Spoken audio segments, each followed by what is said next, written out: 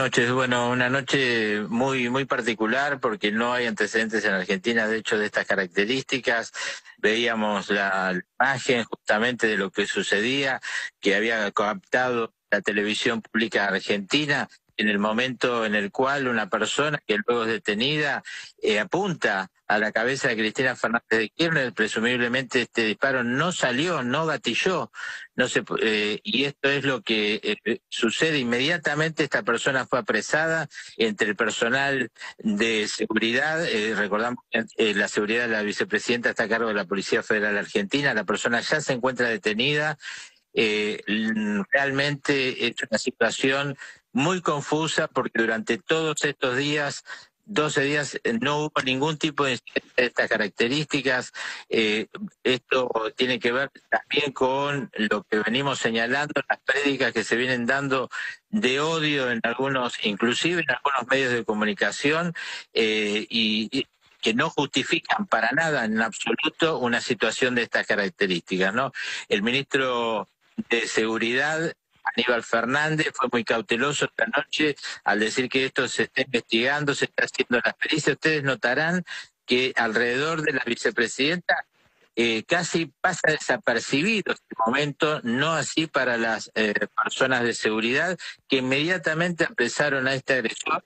El mismo se encuentra detenido en un móvil policial de la Policía Federal a escasos metros de la casa de la vicepresidenta Cristina Fernández de Kirchner. De hecho, ella continúa con su actividad, continúa eh, saludando al resto de los eh, manifestantes, solamente se agacha en un momento.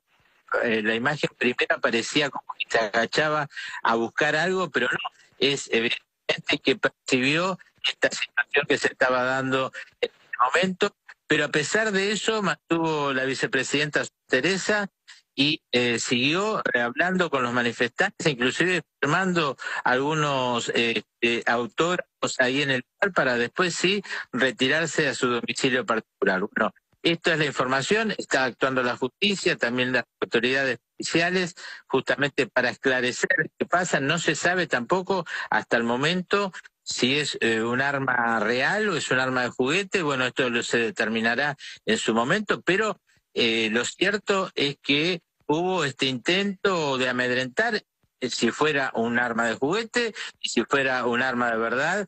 Este, bueno, estamos hablando de un intento de magnicidio contra la vicepresidenta de la Argentina. Bienvenidos todos y todas a nuestro programa En la Balanza. Entramos con las imágenes de un hecho que conmovió al mundo la semana pasada que fue efectivamente el atentado, el magnicidio frustrado contra la vicepresidenta Cristina Fernández. Es importante analizar este tema porque ciertamente el discurso de odio, la tergiversación de la verdad, la manipulación de la información por intereses eh, perversos de índole eh, político, obviamente en este caso la derecha fascista en Argentina, llevan a situaciones extremas en las que se despiertan eh, células que actúan de forma violenta contra la vida de las personas y que son capaces de arrasar o exterminar con aquel que consideren su adversario, su enemigo. Es importante esta reflexión y para eso tenemos una invitada especial, porque nosotros en Venezuela hemos hecho un trabajo importante por eh, ampliar el diálogo, el encuentro, el reconocimiento de las diferencias, la posibilidad de reconocernos en un solo objetivo histórico, en un mismo proyecto histórico y construir la patria de todos.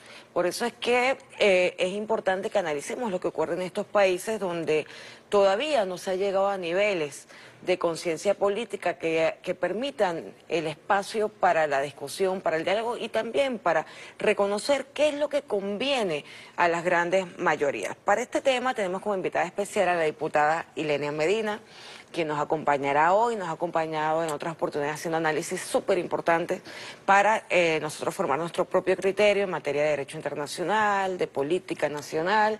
Eh, recordemos que la diputada Elena Medina es secretaria general del partido político, la organización con fines políticos Patria para Todos, secretaria general nacional, y en este momento además nos regala su tiempo, aunque está muy ocupada, porque está, digamos que en las vísperas de la Asamblea Nacional del Partido para la elección de autoridades, un ejercicio democrático dentro de la institucionalidad política de nuestras organizaciones con fines políticos en el país. Bienvenida, diputada Ilenia, a este tu programa. Cuéntanos un poco y gracias por el tiempo que nos dedicas hoy a pesar de tantas tareas que tienes en el partido. Bueno, agradecida a ti por la invitación y a TV en la balanza. Bueno, efectivamente estamos bastante absorbidos en el proceso refundacional organizacional de Patria para Todos sin embargo, no es, hay que aceptar una invitación no solamente por ti, además por el tema en sí mismo, ¿no? Eh, que debe generar opiniones, contribuir a esclarecer de alguna manera una situación tan grave como la que justamente acaban de señalar en el programa, el intento de magnicidio contra eh, Cristina Kirchner, que no es solo contra ella es contra todo el modelo que ella defiende, toda esa historia que se creó en los gobiernos de, ella y de Ernesto Kirchner, Néstor Kirchner, lo que significó para América Latina. Eso es importante que no solamente intuito persona, como se dice, sino que va más allá. Todo lo que ella proyecta, su liderazgo y liderazgo de una patria grande, pues, es decir, es mucho más amplio la amenaza que significó ese intento de vil asesinato contra, contra ella. Ciertamente estamos ante la configuración de un crimen de odio, por lo que tú dices. No se trata de un atentado contra una persona por lo que representa en sí misma como, como individuo, sino lo que, representa, lo que representa ella como parte de una colectividad, de un modelo, de un proyecto de una, de una esperanza de todo un pueblo dentro de Argentina. Ha sido grave, eh, digamos que muy grave además que las redes sociales, los espacios donde nos podemos comunicar y denunciar este magnicidio que fue no fue frustrado, fue frustrado porque no funcionó, pero realmente estaban todas las condiciones dadas para que ocurriera una tragedia, como, como se pudo ver y como se ha podido conocer de las pesquisas que se hicieron posteriores a este hecho, ¿no? El tema es, eh, en el caso de, de lo ocurrido en Argentina, diputada, es que estos crímenes de odio están a la vuelta de la esquina. Eh, no es solamente contra Cristina, es todo lo que representa a ella, se, se manifiesta porque lo hemos visto en algunos casos contra venezolanos, contra lo que representamos como venezolanos. O sea, la situación en Argentina en este momento es compleja en cuanto a los niveles de violencia que se están construyendo. E inclusive niveles de, de violencia que llevan a deformar la institucionalidad que existe dentro de Argentina, la institucionalidad del Estado, a tal punto de eh, ver burdamente cómo se construyen juicios para detener a Cristina Fernández, para imposibilitar que de forma fraudulenta, eh, utilizando la ley, eh, utilizando un proceso judicial, por eso digo fraudulenta, por eso utiliza una norma existente, una ley existente, pero para conseguir un objetivo que está eh, torcido, ¿ok? Que es el impedir la actividad política o ensuciar la actividad política de Cristina Fernández con la posibilidad de... Eh, de ser electa en otro cargo político en las próximas elecciones. ¿Cómo tú ves esta situación? Porque es importante hablar también, bueno, hubo una situación de atentado, hubo una... que se me fue la idea. O hubo también un intento en este momento tan grave de silenciar lo que estaba ocurriendo con Cristina a tal punto, perdonen ustedes, esto es en vivo, que las redes sociales sacaron de las redes sociales estas imágenes del atentado de Cristina Fernández para evitar la multiplicación de la información y que se levantara, pues se levantaron muchas voces a favor de, Cristina y en contra de la violencia política. Háblanos un poco de esto y también vamos a hablar un poco del lofer que se está haciendo contra eh, Cristina Fernández en Argentina. Mira, eh, oyéndote me, obliga a, recordar, me, lleva a los primeros intentos contra Venezuela y contra Brasil, contra Lula. Es un modelo, es una herramienta que utilizó Estados Unidos desde un primer momento, cuando se supone que el proyecto CELAC, crear la Patria Grande, una institucionalidad que permita la integración de América Latina y el Caribe, y eso era restarle poder a la hegemonía norteamericana, eh, comenzó con unas investigaciones que hizo, entre comillas, un periodista, supuesto periodista llamado Douglas Farag, en Estados Unidos, periodista del Washington Post, sobre unas investigaciones también, unas publicaciones de unas editoriales brasileñas donde ellos señalan que Lula Chávez y después Nicolás Maduro crearon, también los Kirchner, eran parte de una componente criminal. El crimen para ellos es la patria grande, es el es todo lo que eso significó. Y era necesario actuar.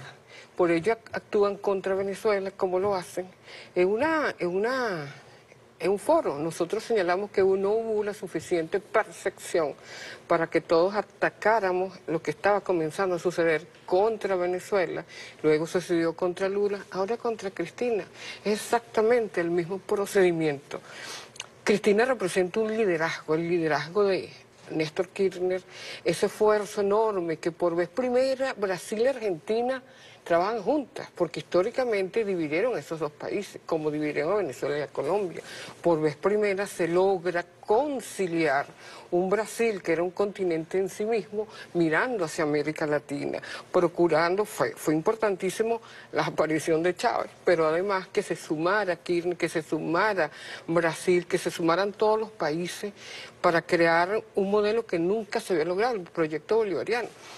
Y en este caso vuelve a suceder que la posibilidad de que se repita la, la presidencia de eh, la, cumbre de la CELAC en Argentina, luego de, de la aparición de López Obrador en México, hablándole claro y alto y con una serenidad a, Estados Unidos, ellos no lo pueden permitir y tenían que nuevamente retomar el ataque contra Cristina, que es la, el referente más cercano con América Latina en el caso de Venezuela.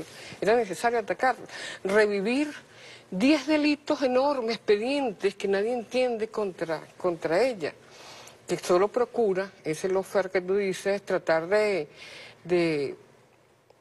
arrancarla del corazón del pueblo argentino, porque en el gobierno de ella, en el gobierno de Kirchner, lograron extraordinarios cambios significativos en el orden social, pero sobre todo desmitificar o abrir nuevamente las, las puertas sobre esas investigaciones oscuras, profundas, sobre la dictadura militar. Ellos lo hicieron, abrieron nuevamente los juicios. Ellos hicieron cosas impensables que habían sido cerradas en la Comisión Interamericana de Derechos Humanos, bueno, el perdón y todo el perdón está bien, pero con justicia.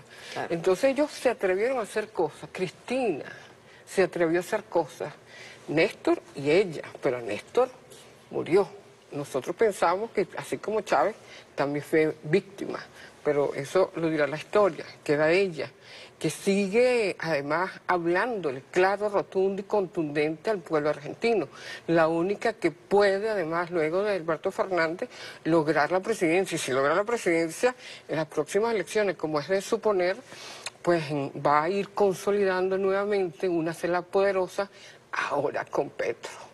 Eso no es cualquier cosa. Entonces, no solamente es el hecho en sí mismo que por sí es sumamente grave, ¿Quiénes son los responsables inmediatos de eso? Los medios de comunicación, que inclusive llegaron a la desfachatez y al cinismo, además del Poder Judicial, que está intervenido por el gobierno norteamericano, como todos saben, es una cosa pública, notoria, comunicacional, es que los medios de comunicación trataron de insinuar, Clarín y La Nación, en primer lugar, que eso era así como una cosa montada por ella, que la beneficiaba este, y señalar cosas tan graves como esa, promoviendo el odio. Yo recuerdo, yo digo, bueno, pero si la libertad de expresión tiene sus límites, una cosa tan grave como ellos promoviendo el odio y luego dudas sobre la autoría de ese intento de magnicidio es sumamente grave y debe haber una demanda contra esos medios, hay que ponerles el acento a esos medios. Eh, creo que debemos estar atentos cuando veíamos nosotros en tiempo, casi en tiempo real. Creo que, bueno, en mi caso yo estaba despierta. Cuando yo veo eso no lo podía creer. Inmediatamente salieron los mensajes de solidaridad eh, y recordar lo que sucedió en la Avenida Bolívar. Así. Es decir, la misma, ella dice, yo no me di cuenta, dice Cristina, exactamente lo que estaba sucediendo. Pero seguramente si se hubiese dado cuenta como como sí lo vio el presidente Nicolás Maduro, se mantuvo con una serenidad y una valentía impresionante. Uno ve nuevamente el intento de magnicidio contra el presidente Nicolás Maduro. Lo que ella le sucedió, uno dice, son líderes de una sola, o sea, completo. Es decir, que en cualquier momento saben que es necesario preservar la serenidad, la tranquilidad. Y un mensaje extraordinario. Eh, quisieron desmoronarlos a ella y al presidente Nicolás Maduro no pudieron, muy por el contrario, una fortaleza enorme, en el caso de ella las masivas muestras de solidaridad importantísima y deja muy claro que algo, algo muy fuerte está detrás de todo eso, que no solamente es el aparataje del poder, del poder judicial argentino, de los medios de comunicación, sino que en este Estados Unidos ese muchacho no inventó, no sacó la pistola con esa audacia. Días antes él había aparecido con la novia en una, en una de esos programas rápidos que hacen allá, cuestionando las políticas sociales de Alberto Fernández. Es decir, algo está por ahí, como sabemos, y creo que eso debe alertarnos, porque así sucedió con Cristina, puede suceder con Petro, puede suceder contra otro dirigente de ese calibre en la región, es contra la patria.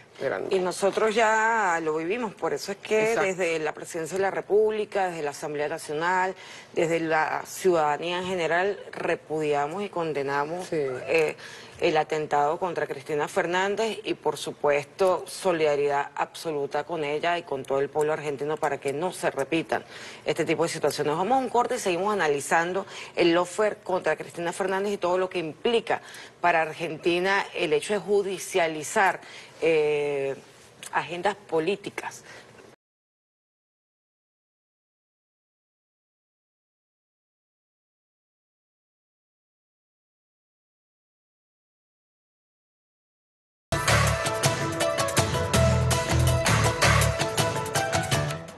Y ante ese intento, una sociedad unida, organizada, pacífica, politizada, sensible, sensata, abierta, plural, salió a la calle para decir que las cosas van a cambiar para siempre. Que necesitamos construir una nueva forma de convivencia política, porque hasta acá llegamos con la violencia política. Algunos decían que se llegó a un límite.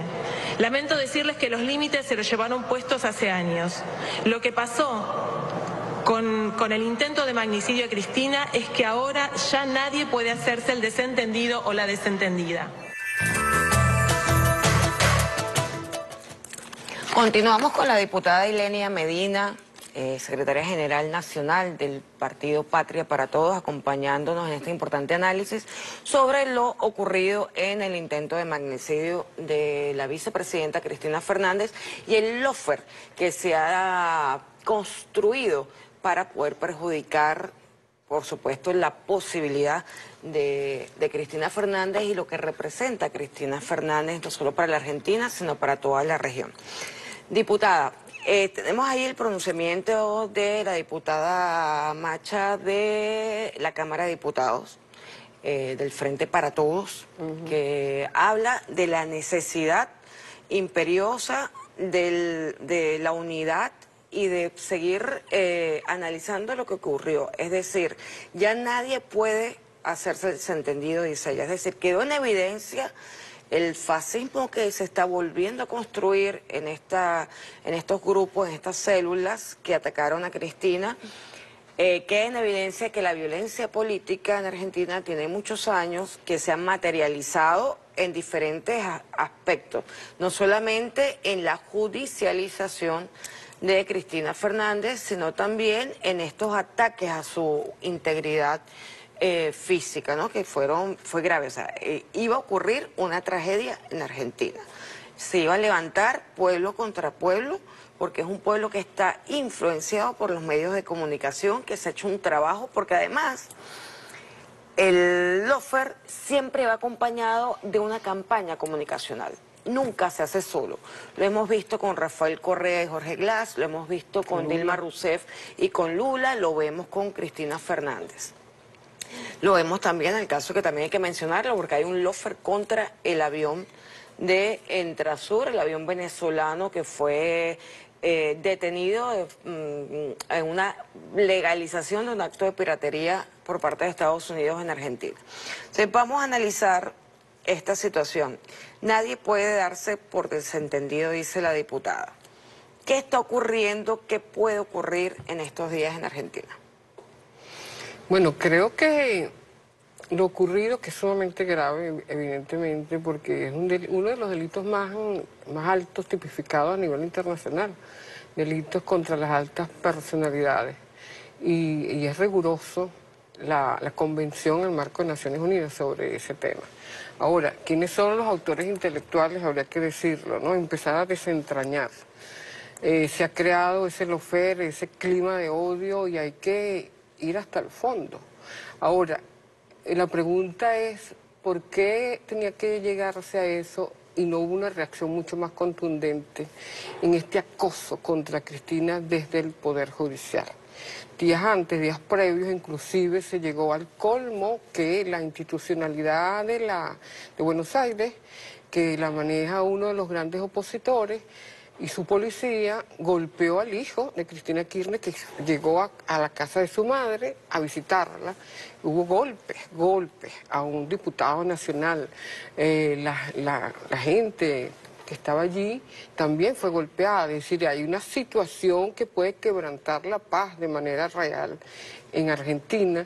Eh, creo que eso también de la parte negativa es esta porque está generando situaciones de mucha este, división dentro del tejido social argentino que per se existe, pero las diferencias políticas no tienen que estar amalgamadas con la violencia, el terrorismo, sino que de alguna manera lo positivo pudiera ser que el frente, que, que los peronistas puedan realmente consolidarse entendiendo lo que está en juego. Está en juego, te decía, fuera las cámaras, la judicialización contra Cristina, pero es la judicialización contra la voluntad popular del pueblo argentino que ha marcado una ruta. Yo siempre trato de comparar con Venezuela. Eh, a nosotros, como no pudieron dividirnos, eh, lanzan las medidas coercitivas unilaterales. En, en Argentina penetraron el Poder Judicial y por ello el acoso contra una persona sumamente activa con un liderazgo extraordinario. Creo que este pudiera ser un punto de inflexión si realmente se levantan esas opiniones como las que escuchamos ahorita de la diputada, que por cierto quiero informar que el grupo de amistad parlamentario Venezuela-Argentina que preside la diputada Blanquecao, la camarada Blanquecao, eh, de la cual también soy parte de ese grupo, eh, son comunicados de rechazo absoluto a ese intento de magnicidio, la violencia que se ha ejercido contra ella, no solamente ahora, hace bastante tiempo, eh, y también solidaridad irreductible con ella. Hacíamos referencia también en la carta, ahí muy, la carta muy hermosa, que previo, días antes de ese suceso, envió el presidente Nicolás Maduro a, a Cristina Kirchner, un reconocimiento a su valentía, al hecho de ser mujer, de ser una lideresa, de ser además diputada, senadora y vicepresidenta, es decir, con todas aquellas responsabilidades y una, de verdad muy hermosa, no sé si, si debe ser más conocida, divulgar más esa carta, ¿no? Porque la, la escribe alguien que ha sido eh, que se ha tratado de judicializar y marcar como el presidente Nicolás Maduro. Eso tiene eh, una resonancia importante. Y yo creo que hechos como ese pueden, eh, de, la solidaridad que haya recibido a nivel internacional, el SEO masivo, y las reflexiones que como esta diputada hace como los movimientos sociales también están haciendo en Argentina, un llamado de atención, un llamado a la calma, un llamado a, evitar una situación que pudiera generar fácilmente una guerra civil. ¿A quién le interesa la guerra civil? No es el, no es el peronismo, no es el pueblo argentino, evidentemente está, como te decía al principio, el proyecto de impedir que se consolide en Argentina el proyecto de la patria grande, CELAC. Fíjate tú, ¿cómo se...? Yo creo que es muy importante recordarlo también, eh, separar una cosa de otra. El 8 de junio, el 6 de junio, Alberto Fernández estaba en, en Estados Unidos hablando en nombre de América Latina y de la CELAC, diciendo cosas que tal vez él per se no las hubiese dicho, pero asume la vocería de CELAC y le reclama a Biden la, la pretensión de excluir a algunos países, a Venezuela, Nicaragua, Argentina, a Cuba. Lo reclama. Otros seguramente que, tienen una opinión muy diferente, pero él se levantó y, y reiteró lo que todos habían dicho, queremos una cumbre de las Américas completico, sin exclusión. Él lo dice justamente y además lo invita, dice, es posible, vamos hacer una cumbre en la CELAC y los vamos a invitar.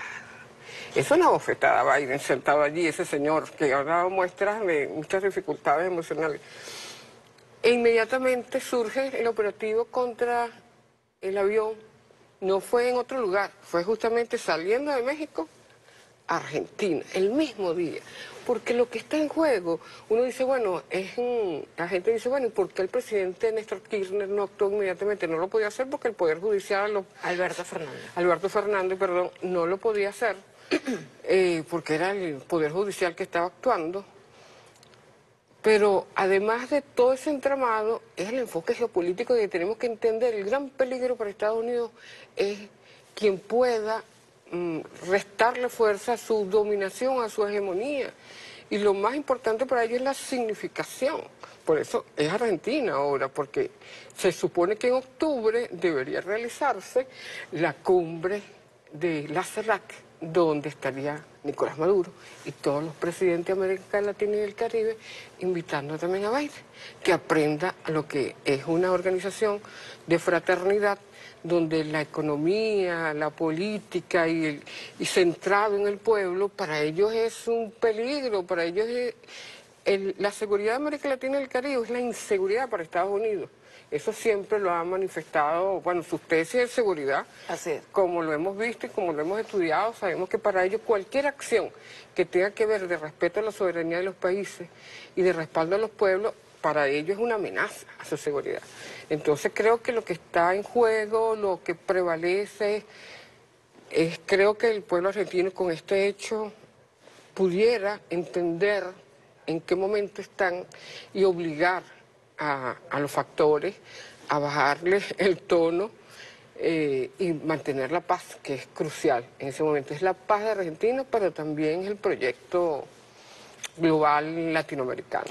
Para toda esta estrategia contra la CELAC, contra la unidad nuestra-americana, contra la posibilidad de este, de este, de este nuevo ajedrez que hay político en la región, con la llegada de Gustavo Petro, con la situación, por supuesto, de la geopolítica internacional, la situación de, de Rusia, etcétera. Chile, ahí. Se ha instrumentalizado eh, la ley y los procesos judiciales para poder atacar al adversario. Es decir, el proceso judicial realmente tiene como objetivo garantizar la justicia. ¿Y la justicia en función de qué? La justicia en función de la paz social. Y el problema es que cuando se instrumentaliza y se secuestra eh, el ámbito político, lo que debe resolverse a través de la política, se secuestra por la vía judicial, no termina bien, termina en una situación de conflicto social como va a ocurrir si continúa el offer contra Cristina Fernández. Es decir, desde el gobierno de Macri ha habido una judicialización, van cerca de 12 o, más eh, intentos judiciales contra Cristina Fernández. El fiscal es muy amigo de Macri. El fiscal, está, eh, sí, además son los mismos fiscales. Sí. O sea, en esas 12 o más de 12 acusaciones, en diferentes temas, están los mismos fiscales. O sea, no hay un fiscal especializado en cada uno de los de los temas que arguyen, sino que casualmente este, son los mismos fiscales. Viciados totalmente. Exactamente. Entonces la situación es que se está utilizando eh, esta judicialización para mm, permear la imagen de Cristina Fernández y del proyecto político que representa Cristina Fernández con un fin bastante Mm, bastante eh, complejo, porque si sigue, como decíamos hace un segundo, la situación es definitivamente de inestabilidad política y social en Argentina, está, estamos cerca de una situación de conflicto eh, civil en, en, Argentina. Pero se suma además una situación que también los argentinos lo han asumido como propia, que es el lofer contra Venezuela. Desde Argentina, en el caso del avión eh, de Entrasur, es parte de eh, la, la estrategia de los grupos de extrema derecha en Argentina y también del sionismo que tiene eh, digamos que una, un, importante centro de operaciones en Argentina desde hace muchos años, ¿no? Sí. Esta situación amerita eh, una opinión de parte del grupo parlamentario de amigos este, que, del cual tú eres miembro, también de tu organización con fines políticos. ¿Qué ha dicho Patria para Todos en relación a esta persecución, a esta medida coercitiva unilateral que se está implementando por vía judicial contra, Venezuela. Bueno, hemos, por supuesto, hemos hecho declaraciones muy claras. Tuvimos, participamos en la reunión con el embajador cuando fueron los trabajadores y trabajadoras de Conviasa con un manifiesto. Eh, estuvo allí también una delegación de la Asamblea Nacional que presidía Pedro Carreño. Eh, estuvimos allí y tomamos la palabra varios. Por supuesto, Pedro Carreño entregó el manifiesto, el acuerdo político, donde se denunciaba el acoso, las medidas coercitivas contra Venezuela, el delito que se pretendía, que se pretende hacer con, con el avión, la aeronave venezolana. Y allí participó Tania, Tania Díaz, hizo observaciones importantes hacia Villegas. Eh, Juan Romero y en mi caso nosotros señalamos que evidentemente importante decir que esa pretensión de judicializar a, la, a, Intrasur, su, la aeronave, la carga, los tripulantes, es decir, en el marco de la normativa de la aviación civil internacional, era importante pedirle a los jueces que señalaran cuál era el tratado, porque, porque son 49 tratados, entre tratados, protocolos y normas que han sido reformadas. ¿Cuál de ellas se califica para que ellos detengan el avión, detengan a los tripulantes? Porque tienen que decirlo, miren, el marco, el artículo tal, la convención tal, no hay nada, absolutamente nada, muy por el contrario. Y que era importante además, evidentemente, que eso tenía un enfoque geopolítico, ahí lo dijimos por vez primera, porque no se había dicho que evidentemente todo sucede el mismo día que sale en Trasur de México, estaba Alberto Fernández dando su intervención en la Cumbre de las Américas, el mismo día. Y dos días después, cuando llega el 8 de junio a, Buenos Aires, sucede lo que todos sabemos lo que ha sucedido. Evidentemente están provocando, impidiendo que se dé la reunión de, de CELAC en, en Argentina, por cuanto la tiene que convocar el presidente Alberto Fernández, el malestar de Venezuela genuino, el malestar en la Asamblea Nacional, el malestar de nuestro pueblo es muy claro, porque se confundió. Quien actúa es el poder, el poder Judicial. Sin embargo, a la hora de implementar la cooperación penal internacional, hay una discrecionalidad del Ejecutivo que puede decir ya va. Si aquí no ha ocurrido nada porque no han podido demostrarlo y Estados Unidos pide que el Poder Judicial le dé pruebas, que construya pruebas que no existen, ahí él sí tiene la facultad de decir, no puedo detener el avión. Ahí sí él tiene esa responsabilidad. Eso es bueno explicarlo, diputada, porque ciertamente eh, el abstenerse de tomar una decisión desde el Poder Ejecutivo argentino argumentando la separación de poderes no tiene asidero realmente legal, porque hay temas que son de naturaleza diplomática, hay tratados que ratifica el gobierno nacional y que entran ah, por vía de ley al derecho interno argentino, pero que comprometen al Estado y, al Ejecutivo. En lo particular cuando se violan tratados internacionales. Entonces, ciertamente se, se debería esperar del presidente Alberto Fernández que hubiese alguna intervención dentro, dentro de esa situación, porque no se trata solamente de un aspecto, no es un tema jurídico, Estamos hablando de que también se está judicializando un problema diplomático. Así es. ¿Ok? Así como hacemos que se judicializa la política, se judicializa las relaciones diplomáticas que competen al Ejecutivo Nacional y que comprometen la seguridad y la estabilidad del Ejecutivo Nacional, porque dentro de lo que cabe, cualquier alteración del derecho internacional o que ponga en, en en tela de juicio el cumplimiento del gobierno nacional respecto a los tratados de, tratados internacionales amenaza la seguridad internacional, porque para eso es el derecho internacional. Y ahí la discrecionalidad del Ejecutivo Nacional de definir si entrega o no, si, si confisca y entrega a Estados Unidos el avión.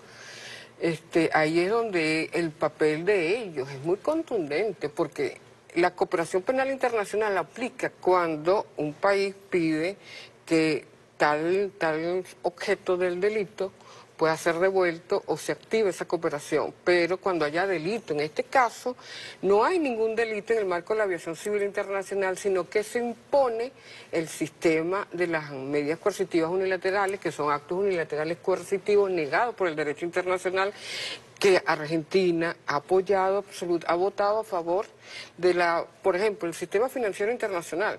Es una resolución antigua que todos los años, y allí que todos los años se aprueba en la Asamblea General de Naciones Unidas. Y Argentina vota a favor.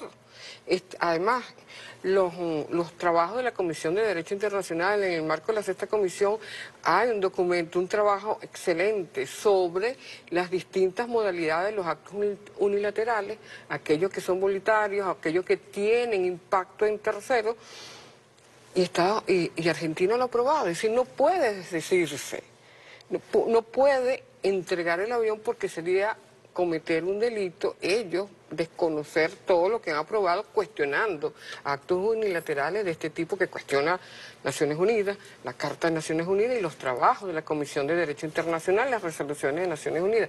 Está obligado a entregar el avión y debe hacerlo prontamente.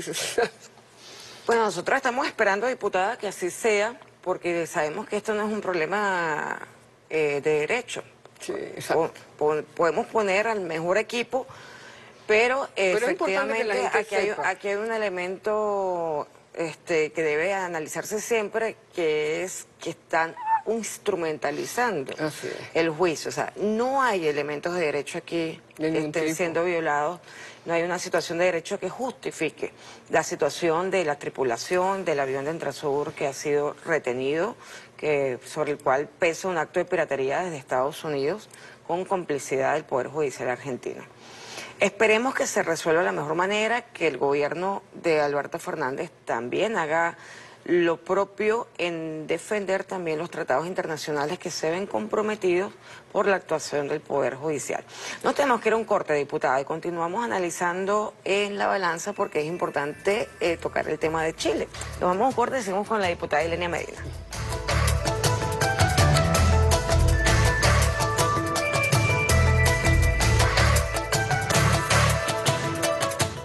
Continuamos en la balanza con la diputada Ilenia Medina, miembro además de la Comisión de Política Exterior de la Asamblea Nacional, miembro también de la Comisión Especial para la Defensa del Esequibo, parte del grupo parlamentario de amistad con Argentina desde Venezuela. Y eh, recordemos además que nos está acompañando eh, eh, desde su análisis, ella como diplomática de carrera que nos ha permitido hacer, eh, eh, digamos que, tocar algunos aspectos del derecho internacional que son importantes para entender lo que está ocurriendo en Argentina respecto específicamente a eh, el secuestro del avión venezolano de la tripulación venezolana. Ahora hay un acontecimiento, diputada, importante que vimos el domingo. Había expectativas respecto al plebiscito de la propuesta de nueva constitución en Chile. Recordemos que hay un proceso no constituyente, porque en términos constitucionales realmente, aunque se hable una nueva constitución y se haya elegido una convención... No fue originario. No es un proyecto de proceso constituyente originario, exactamente.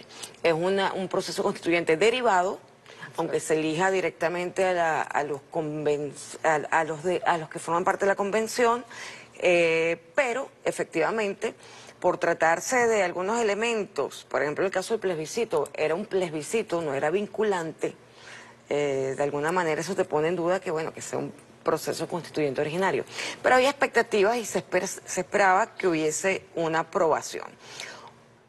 Desde, eh, digamos que desde el análisis de todo lo que camino el pueblo chileno, eh, para llegar a este proceso, es decir, un levantamiento popular importante que llevó al, presidente en ese momento a tomar la decisión de convocar a, a, un plebiscito que consultara si se quería ir a una nueva constitución, o sea, todo un camino importante que implica la movilización de la gente.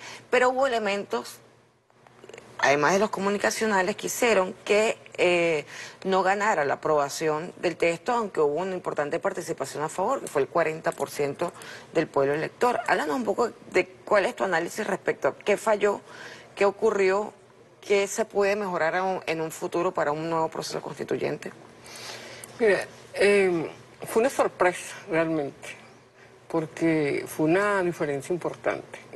inclusive las encuestadoras daban como un hecho que había o un empate técnico o ganaba el apruebo con una pequeña, por lo menos una pequeña ventaja. Sin embargo, esto nos dice en primer lugar que la comunicación para aclarar exactamente los grandes logros, lo que significaba 100 normas, siempre 100 normativas, solo el reconocimiento de derechos y una nueva, un nuevo régimen eh, de distribución de poder, si se quiere, al reconocer a los indígenas la titularidad, nuevas formas de gobierno comunales y regionales, no fue lo suficientemente eh, explicada a las comunidades para lograr la confianza.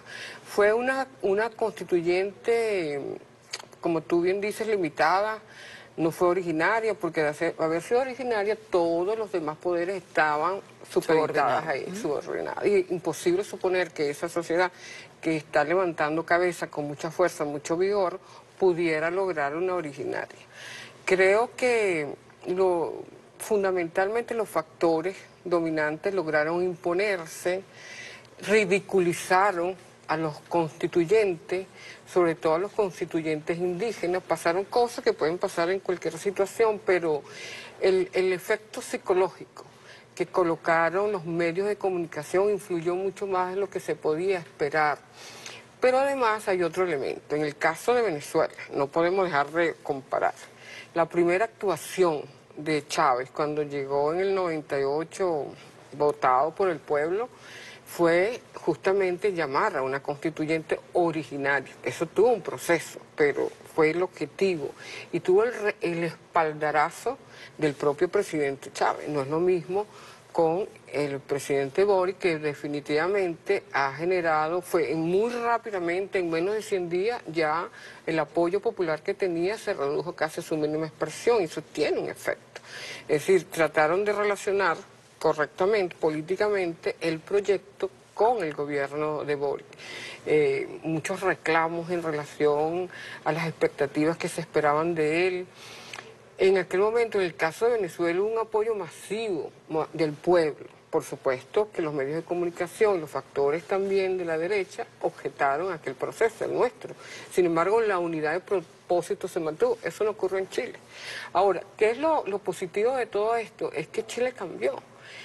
Es decir, si el pueblo chileno, sobre todo el sector más vulnerable, que fue el que casi no asistió a votar, votó en contra, quiere, o, los que votaron en contra, quiere decir que de alguna manera ellos no se sintieron expresados erróneamente porque no manejaban la información, porque definitivamente eso es una constitución que en relación a la anterior, por supuesto que es modélica pero no hubo ese esfuerzo. De todas maneras, lo que uno puede expresar, recoger de allí, es que el pueblo está conteste de que no lo representaba equivocadamente y votó en contra. Ahora, la posibilidad, yo lo que creo, mi opinión, es que a partir de ahora eh, la, la, fuerza del poder popular va a estar más vigente, pero además la posibilidad de, de avanzar a otra constitución, el esfuerzo va a estar entre que no se cosmetice la de 1980,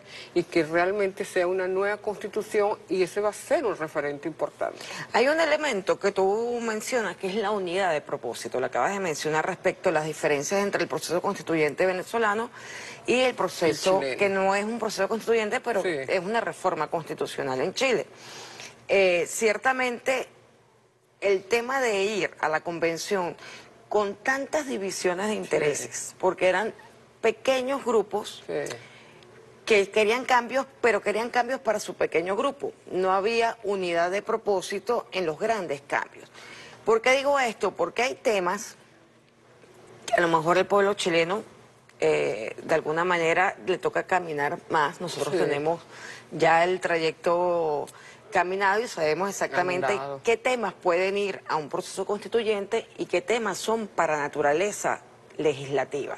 Es decir, a veces las demandas de los pequeños grupos que en un momento determinado sienten que requieren eh, expresar sus reclamos, no entienden que la vía para esos reclamos tiene que ser una vía de ley y no una vía constitucional temas eh, vinculados, por ejemplo, a la penalización del aborto, que son temas sociales complejos, que puede haber muchas posiciones al respecto y que son temas que son para múltiples debates sociales. Y momentos especiales. Exactamente, entonces llevar esos temas, llevar esas inquietudes que son totalmente legítimas, pero llevarlas a un momento constituyente implica tener muchísimo rechazo en el debate De, aquello que se va a aprobar.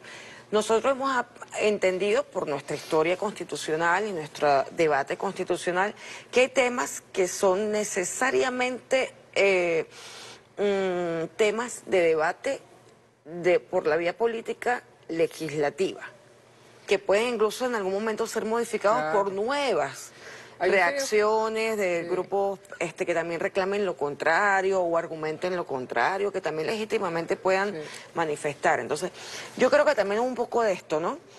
Eh, no hubo unidad de propósito de todo el pueblo que manifestó el sí, el voto obligatorio afecta, pero recuerda que nosotros, por ejemplo, también tuvimos en algún momento voto obligatorio. Sí, pero pudo haber afectado, pero afecta más la, que no hubo unidad de propósito y que no hubo tal vez este, un análisis de cuáles temas si eran constitucionales, pues yo revisé un poco el texto propuesto, ¿no? Había temas que uno dice, oye, pueden generar eh, fricciones importantes, que son temas para dar debates en el legislativo. Totalmente de acuerdo contigo, pero además de eso, que ese es un punto muy delicado, el tema del aborto. El tema de la paridad por la paridad, que también es difícil porque tú no impones liderazgo, tiene que nacer el liderazgo. La paridad, que nosotros creemos en la paridad, pero debe haber una construcción sobre eso. Y además yo creo que también hizo su efecto el tema del voto obligatorio, porque tú dices, ¿cómo va a obligar a la gente a ir a votar? Si el proyecto en sí mismo es bueno, la gente va a salir a votar, como efectivamente sucedió en las dos mm, votaciones anteriores para lograr a lo que se llegó. Eh, la gente, porque además te imponía una multa importante, inclusive la más alta de 200 dólares.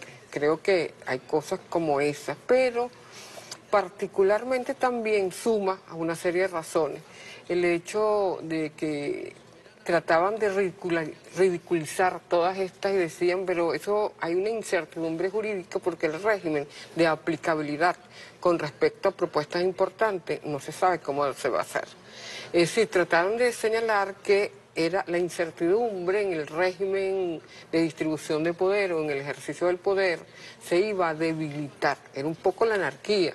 Trataron de mostrar que era la anarquía lo que se iba a imponer. Yo creo que Mira, la sociedad chilena, un poco lo que uno puede conocer y con todo respeto a los hermanos chilenos, tiene componentes muy particulares y hay un convencionalismo importante. Entonces, ese tema, el tema del aborto y el tema de la incertidumbre creo que eh, pesó. Pero además el tema que no había esa, esa diversidad dentro de la izquierda, dentro de los constituyentes, dentro de los propios indígenas, este, había diferencias importantes, pero, además el liderazgo, que es el del presidente Bori, no estuvo a la altura de las circunstancias. Se empezaron cosas, pero este ejercicio no va fue, fue positivo, inclusive habiendo perdido. Sabemos que esperábamos otra cosa. Nosotros, yo pensaba, va a ganar, pero con una diferencia pequeña, pero va a ganar. No esta diferencia brutal. Ahora, Chile es otra. Eso suma, Chile es otra y hay que ayudar al pueblo chileno a continuar por ese camino. Tienen mucho temor también a una guerra civil, tienen mucho temor a las, a las fracturas. Para eso se encarga, se encarga la derecha, ¿no? de que su campaña siempre ha sido el miedo. Eh, lo que pudiera ocurrir, la imposición de un gobierno comunista de izquierda, es decir, todo lo que han hecho durante todos estos años, ¿no? la judicialización de la política, de la participación. Entonces, bueno, ese es el resultado, pero yo creo que es otro Chile, es otro Chile, los que se atrevieron y creo que la parte positiva hay que destacarla. A mí también me parece, diputada, que fue un ejercicio positivo, muy positivo, que además que quienes proponían o estaban a favor del apruebo reconocieron sin, sin problema que efectivamente se había expresado la voluntad del pueblo chileno que rechazó. Eh, o sea, una, una, un ejercicio de verdadera democracia. Con, eh, debe haber un posterior análisis de en qué se falló, porque un proceso constituyente efectivamente tiene que terminar de convencer a la gran mayoría para ir hacia adelante. O sea, cuando es un, proceso que realmente eh, es una expresión del cambio histórico que debe darse naturalmente dentro de una sociedad, él tiene que ir a un buen fin tiene que ir a un buen final. Entonces hubo elementos que fallaron en ese proceso y que a lo mejor deben ser analizados para poder ir a un nuevo proceso constituyente y quizás que pudieran ir a un proceso constituyente originario luego de haber eh, transitado este, este proceso que fue más de reforma de que, de proceso constituyente. Sí, yo creo que yo creo que sí, porque es otra generación que se levanta. Es decir, si uno coloca la, la, el Chile después de Allende, después de la, bueno, del asesinato de Allende, que por cierto la toma de posición de Allende fue un 4 de septiembre también de 1970. Entonces, pero y este su asesinato también fue en septiembre. Exactamente, entonces este, este Chile que se levanta, que fue de los adolescentes, los que se opusieron al incremento del pasaje en el metro, que sin miedo alguno se lanzaron a la calle y sus amigos y sus abuelas y sus padres fueron sumándose, es una generación distinta y a eso hay que apuntar. Por supuesto que va a depender de los partidos de izquierda que logren generar este, niveles de conciencia consolidados de hacia dónde vamos. Porque tú miras hacia atrás y tú dices, bueno, ¿qué pasó con tanta emoción, con tanta fuerza, con tanta dignidad? ¿Qué pasó? ¿Por qué no salieron a votar? Efectivamente, hay que, ellos sobre todo, uno lo hace como un ejercicio intelectual, obligados estamos a tratar de entender lo que sucede en nuestros países, países hermanos como Chile. Pero ellos tienen que escarbar y saber dónde fallaron que no se repita, porque la, el fascismo no perdona, no va a perdonar. Y creo que por eso te señalaba en el segmento anterior la necesidad de que nuestros pueblos, cuando hablo de Venezuela, hablo de Chile, Argentina, conozcan de manera directa las razones por las cuales nosotros decimos Cristina es una víctima, pero no solamente es Cristina, es el pueblo argentino.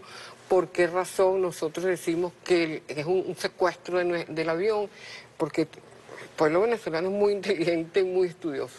Y de esa manera, si los chilenos logran descifrar qué fue lo que sucedió, no lo van a repetir.